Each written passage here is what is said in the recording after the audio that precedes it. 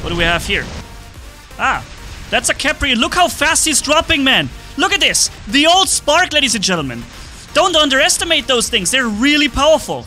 When you have fully loaded and you're very close, that's when they do the highest amount of damage, and you'll definitely notice that on the enemy HP bar. Dude, they take damage so much. What's up, friends of the good mood? This is Manni, and welcome to the homing lasers. I want to continue with this video series here, testing the, or using the super powerful Capri to test older weapons in the meta now and see how they do. Uh, and for that reason, I equipped the Mark III Spark right here, uh, and the Scourge on the Typhon.